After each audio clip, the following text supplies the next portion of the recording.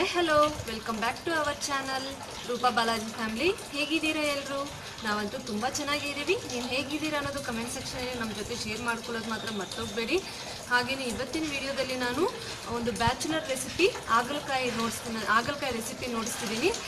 ತುಂಬ ಈಸಿಯಾಗಿ ಆಗೋಗುತ್ತೆ ಬ್ಯಾಚುಲರ್ಸ್ಗಾದರೆ ತುಂಬ ಈಸಿಯಾಗಿ ಮಾಡ್ಕೊಂಬಿಡ್ಬೋದು ಬ್ಯಾಚುಲರ್ಸ್ಗಂತಲೇ ಅಲ್ಲ ನಮಗೂ ಅಷ್ಟೇ ಯಾವುದನ್ನ ಒಂದು ಈಸಿಯಾಗಿ ರೆಸಿಪಿ ಮಾಡಬೇಕು ಅಂದರೆ ಆಗಲಕಾಯಲ್ಲಿ ಈ ಥರ ಮಾಡ್ಕೋಬೋದು. ತುಂಬ ಈಸಿಯಾಗಿರುತ್ತೆ ನೀವು ಒಮ್ಮೆ ಟ್ರೈ ಮಾಡಿ ಈ ರೆಸಿಪಿನ ನಿಮಗೆ ಈ ವಿಡಿಯೋ ಇಷ್ಟವಾದರೆ ಲೈಕ್ ಮಾಡಿ ನಿಮ್ಮ ಫ್ರೆಂಡ್ಸ್ ಆ್ಯಂಡ್ ಫ್ಯಾಮ್ಲಿಗೊಂದು ಶೇರ್ ಮಾಡಿ.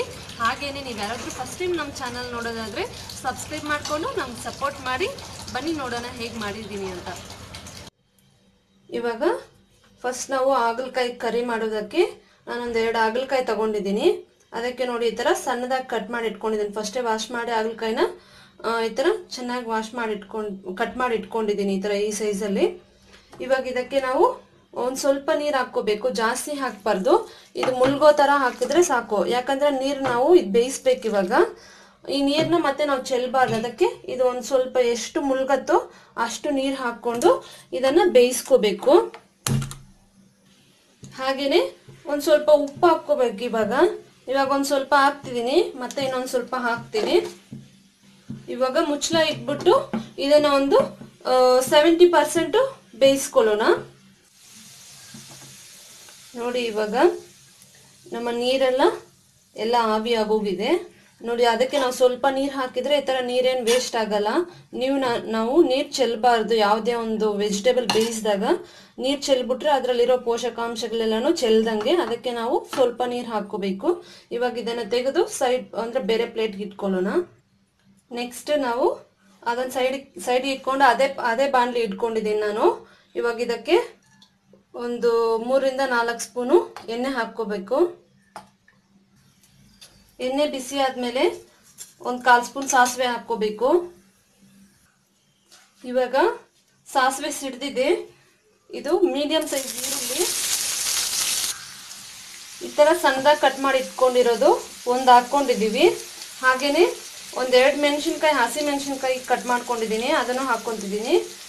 ಹಾಗೆಯೇ ಒಂದು ಸ್ವಲ್ಪ ಕರ್ಬೇವು ಸೊಪ್ಪು, ಅಂದರೆ ಕರಿಬೇವು ಎಲೆನೂ ಹಾಕ್ಕೊತಿದ್ದೀನಿ.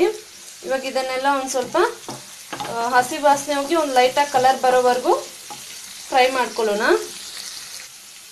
ಇವಾಗ ನೋಡಿ ಇದು ಹಸಿ ವಾಸನೆ ಹೋಗಿದೆ ಲೈಟಾಗಿ ಕಲರು ಬಂದಿದೆ. ಇವಾಗ ನಾವು ಫಸ್ಟೇ ಬೇಯಿಸ್ಕೊಂಡಿರೋಂಥ ಸೆವೆಂಟಿ ಪರ್ಸೆಂಟ್ ಬೇಯಿಸ್ಕೊಂಡಿರೋಂಥ ಹಾಗಲಕಾಯಿ ಹಾಕ್ಕೋಬೇಕು.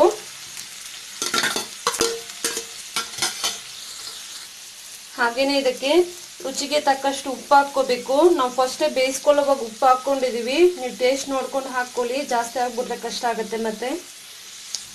ಹಾಗೇನೆ ಒಂದು ಕಾಲು ಸ್ಪೂನ್ ಆಗೋದಷ್ಟು ಅರಿಶಿನದ ಪುಡಿ ಹಾಕ್ಕೊಳ್ಳಿ.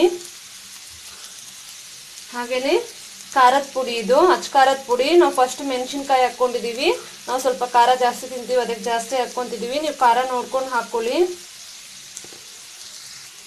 ಇದು ನೋಡಿ ಸಾಂಬಾರ್ ಮಸಾಲ ಪೌಡ್ರು. ಇದು ಒಂದು ಒಂದು ಟೇಬಲ್ ಸ್ಪೂನ್ ಹಾಕ್ಕೊತಿದ್ದೀನಿ. ನಿಮ್ಮ ಹತ್ರ ಟೇಬಲ್ ಸ್ಪೂನ್ ಇಲ್ಲ ಅಂದರೆ ಮಾಮೂಲಿ ಸ್ಪೂನ್, ಚಿಕ್ಕ ಸ್ಪೂನಲ್ಲಿ ನಾವು ತಿನ್ನೋ ಸ್ಪೂನಲ್ಲಿ ಒಂದು ಎರಡು ಸ್ಪೂನ್ ಹಾಕ್ಕೊಳ್ಳಿ. ಇವಾಗ ಇದನ್ನೆಲ್ಲನೂ ಚೆನ್ನಾಗಿ ಮಿಕ್ಸ್ ಮಾಡ್ಕೋಬೇಕು.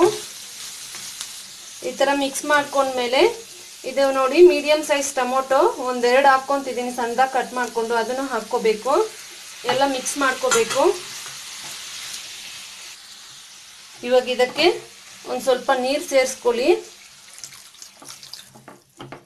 ಒಂದು ಸ್ವಲ್ಪ ಅಂದರೆ ಇದೆಲ್ಲ ಒಂದು ಸ್ವಲ್ಪ ಇಷ್ಟು ಮುಲ್ಗೋವರೆಗೂ ಜಾಸ್ತಿ ಹಾಕೋಬೇಡಿ ಇದು ಒಂದು ಸ್ವಲ್ಪ ಗೊಜ್ಜು ಥರ ಇರಬೇಕು ನಮಗೆ. ನೋಡಿ ಇಷ್ಟು ಇದೆಲ್ಲ ಮುಲ್ಗೋವರೆಗೂ ಹಾಕೊಂಡ್ರೆ ಸರೋಗತ್ತೆ. ಇವಾಗ ಇದು ಬೇಯ್ಲಕ್ ಬಿಡೋಣ ಒಂದು ಸ್ವಲ್ಪ ಹೊತ್ತು. ಟೊಮೊಟೊ ಎಲ್ಲ ಬೇಯಬೇಕಲ್ಲ? ನಮ್ಮ ಹಾಗಲಕಾಯಿನೂ ಒಂದು ಸೆವೆಂಟಿ ಪರ್ಸೆಂಟ್ ಅಷ್ಟೇ ಬೆಂದಿದೆ. ಫುಲ್ ಬೇಯಬೇಕು. ಇವಾಗ ಇದಕ್ಕೆ ಮುಚ್ಚಳ ಇಟ್ಬಿಟ್ಟು ಒಂದು ಐದು ನಿಮಿಷ ಬೇಯ್ಲಕ್ ಬಿಡೋಣ. ಇವಾಗ ಒಂದು ಐದು ನಿಮಿಷ ಬೆಂದಿದೆ ಇದು. ಇದು ನೋಡಿ ಗಾರ್ಲಿಕ್ ಪೇಸ್ಟು. ಒಂದು ಹತ್ತು ಎಲಸು ಗಾರ್ಲಿಕ್ ತಗೊಂಡಿದ್ದೀನಿ. ಈ ಥರ ನುಣ್ಣಗೆ ಪೇಸ್ಟ್ ಥರ ಮಾಡ್ಕೊಂಡಿದ್ದೀನಿ. ಅದನ್ನು ಹಾಕ್ಕೋಬೇಕು. ಗಾರ್ಲಿಕ್ ಪೇಸ್ಟ್ ಹಾಕ್ಕೊಂಡು ಚೆನ್ನಾಗಿ ಈ ಥರ ಮಿಕ್ಸ್ ಮಾಡ್ಕೋಬೇಕು. ಮತ್ತೆ ಹಾಗೇನೆ ಇದಕ್ಕೆ ಇದು ನೋಡಿ ಚಿಕ್ಕದಾದ ನಿಂಬೆ ಹಣ್ಣು ಸೈಜ್ ಗಾತ್ರದ ಹುಣಸೆ ಹಣ್ಣಿಂದ ತೆಗೆದ ರಸ ಇದು. ಒಂದು ಎರಡು ಹಾಗಲಕಾಯಿಗೆ ಒಂದು ಚಿಕ್ಕದಾದ ಚಿಕ್ಕದಾದ ನಿಂಬೆ ಹಣ್ಣು ಸೈಜ್ ಅಷ್ಟು ಸರೋಗತ್ತೆ ಹುಣಸೆ ಹಣ್ಣು ರಸ. ಅದು ಹಾಕ್ಕೋಬೇಕು. ನೀವು ರುಚಿ ನೋಡ್ಕೊಂಡು ಹಾಕ್ಕೊಳ್ಳಿ. ಹುಳಿ ಜಾಸ್ತಿ ಆಗ್ಬಿಟ್ರು ಚೆನ್ನಾಗಿರಲ್ಲ, ಕಮ್ಮಿ ಆದ್ರೂ ಚೆನ್ನಾಗಿರಲ್ಲ. ನಾವು ತಿನ್ನೋವಾಗ ಒಂದು ಸ್ವಲ್ಪ ನಮಗೆ ಹುಳಿ ಹುಳಿ ಅನಿಸ್ಬೇಕು. ಅಷ್ಟು ಮಾತ್ರ ಇರಬೇಕು. ಅವಾಗೆ ಚೆನ್ನಾಗಿರೋದು. ಇವಾಗ ಇದನ್ನು ಚೆನ್ನಾಗಿ ಮಿಕ್ಸ್ ಮಾಡ್ಕೊಳ್ಳೋಣ. ಹುಳಿ ಹಾಕಿದ ಮೇಲೆ ಇನ್ನೊಂದು ಐದು ನಿಮಿಷ ಮುಚ್ಚಳ ಇಟ್ಬಿಟ್ಟು ಬೇಯಿಸ್ಕೊಳ್ಳೋಣ. ನಾವೇನು ಹುಳಿ ಅಂದ್ರೆ ಹಾಗಲ್ಕಾಯಿ ಮಾಡೋದಾದ್ರೆ ಕೆಲವೊಂದ್ ಜನ ಹೇಳ್ತಾರೆ ಕಹಿನೇ ಇರಲ್ಲ ಕಹಿ ಇಲ್ದರ ಮಾಡ್ತೀವಿ ಅಂತ. ಕಹಿ ಇಲ್ದಿರ ಮಾಡಿದ್ರೆ ಅದು ಆಗಲ್ಕಾಯಿ ಹೇಗಾಗತ್ತೆ? ಒಂದ್ ಸ್ವಲ್ಪ ಕಹಿ ಅನ್ನೋದು ನಮ್ಗೆ ಇರ್ಬೇಕು ಗೊತ್ತಾಗ್ತಾ ಇರ್ಬೇಕು. ಆ ಕಹಿಗೆ ನಾವು ಉಪ್ಪು ಖಾರ ಹುಳಿ ಹಾಕಿದ್ರೆ ಒಂದ್ ಸ್ವಲ್ಪ ಎಲ್ಲಾ ಟೇಸ್ಟ್ ಗೊತ್ತಾಗ್ತಾ ಇರ್ಬೇಕು. ಆ, ಏನಂತಾರೆ ಕಹಿ ಗೊತ್ತಾಗ್ತಾ ಇರ್ಬೇಕು ಹುಳಿ ಗೊತ್ತಾಗ್ತಾ ಇರ್ಬೇಕು ಖಾರ ಗೊತ್ತಾಗ್ತಾ ಇರ್ಬೇಕು ಉಪ್ಪು ಗೊತ್ತಾಗ್ತಾ ಇರ್ಬೇಕು. ಅವೆಲ್ಲ ಮಿಕ್ಸ್ ಮಾಡಿದ್ರೇನೆ ಆಗಲ್ಕಾಯಿ ಅಂದ್ರೆ ಕರಿ ಆಗೋದು ಅವಾಗೆ ಚೆನ್ನಾಗಿರೋದು. ಅದಕ್ಕೆ ಆಗಲ್ಕಾಯಿಗೆ ಟೇಸ್ಟ್ ಇಲ್ದಿರ ಮಾಡ್ಬಿಟ್ಟು ನಾವು ಕರಿ ಮಾಡಿದ್ರೆ ಏನ್ ಉಪಯೋಗ? ಒಂದ್ ಸ್ವಲ್ಪ ಕಹಿ ಅನ್ನೋದು ಇದ್ರೇನೆ ಅದು ಆಗಲ್ಕಾಯಿ ಕರಿ ಆಗತ್ತೆ. ಇದು ಅಷ್ಟೊಂದು ಚೆನ್ನಾಗಿರುತ್ತೆ ನೀವೆಲ್ಲರೂ ಒಮ್ಮೆ ಟ್ರೈ ಮಾಡಿ. ಇವಾಗ ನೋಡಿ ನಮ್ಮ ರೆಸಿಪಿ ರೆಡಿ ಆಗಿದೆ. ನೀವು ಹಿಂಗೇನಾದ್ರೂ ತುಂಬಾ ಗಟ್ಟಿ ಅನ್ಸಿದ್ರೆ ಬೇಯೋವಾಗೆ ಒಂದು ಸ್ವಲ್ಪ ಎಕ್ಸ್, ನೀರು ಹಾಕ್ಕೋಬೋದು.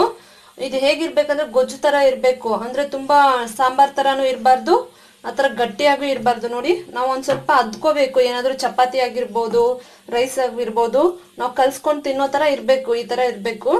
ಅವಾಗ ಚೆನ್ನಾಗಿರತ್ತೆ. ಇದು ತುಂಬಾ ಚೆನ್ನಾಗಿರತ್ತೆ. ರೈಸ್ಗಾಗಿರ್ಬೋದು, ಚಪಾತಿಗಾಗಿರ್ಬೋದು, ರೋಟಿಗಾಗಿರ್ಬೋದು ಚೆನ್ನಾಗಿರತ್ತೆ. ನೀವು ಒಮ್ಮೆ ಟ್ರೈ ಮಾಡಿ ತುಂಬ ಈಸಿಯಾಗಿ ಆಗೋಗುತ್ತಲ್ಲ? ಬ್ಯಾಚುಲರ್ಗಂತೂ, ಬ್ಯಾಚುಲರ್ಸ್ಗಂತೂ ಸೂಪರ್ ರೆಸಿಪಿ ಅಂತಾನೆ ಹೇಳಬೇಕು. ನಿಮ್ಗೆ ಈ ವಿಡಿಯೋ ಇಷ್ಟವಾದರೆ ಲೈಕ್ ಮಾಡಿ ನಿಮ್ಮ ಫ್ರೆಂಡ್ಸ್ ಅಂಡ್ ಫ್ಯಾಮಿಲಿಗೂ ಶೇರ್ ಮಾಡಿ. ಹಾಗೇನೆ, ನೀವು ಯಾರಾದರೂ ಫಸ್ಟ್ ಟೈಮ್ ನಮ್ಮ ಚಾನಲ್ ನೋಡೋದಾದ್ರೆ ಸಬ್ಸ್ಕ್ರೈಬ್ ಮಾಡಿಕೊಂಡು ನಮ್ಗೆ ಸಪೋರ್ಟ್ ಮಾಡಿ. ಥ್ಯಾಂಕ್ಸ್ ಫಾರ್ ವಾಚಿಂಗ್ ಧನ್ಯವಾದಗಳು.